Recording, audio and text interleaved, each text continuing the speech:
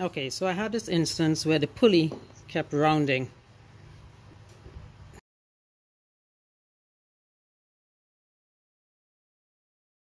So the it will completely spin on this shaft. Alright, and what I found on a forum was that somebody said it's a relatively common thing. Well, I guess it's common if it happens to you. And they suggested I use Loctite Thread Locker Red 271.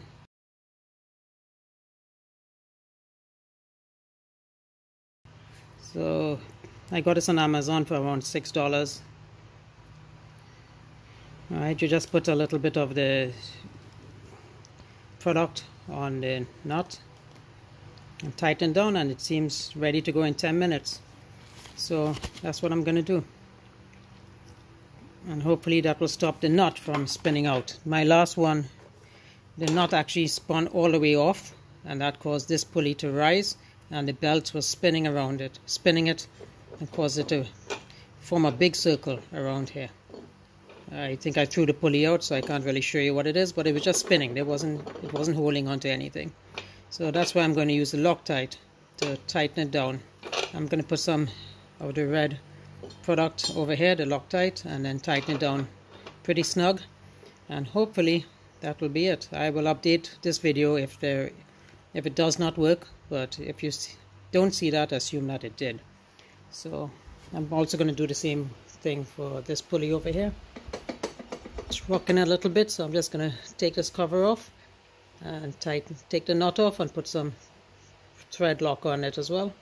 And hopefully that will keep it stable. This middle one is okay.